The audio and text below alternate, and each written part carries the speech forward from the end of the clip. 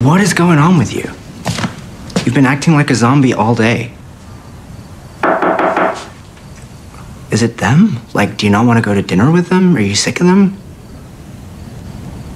Are you ever going to talk to me again? What happened yesterday? We just went jet skiing and then.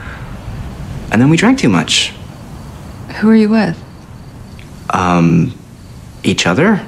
And. I guess we talked to like other people at the bar. What other people? Like, no one I would ever talk to again, just random people. Random guys or random girls? Random both. Why?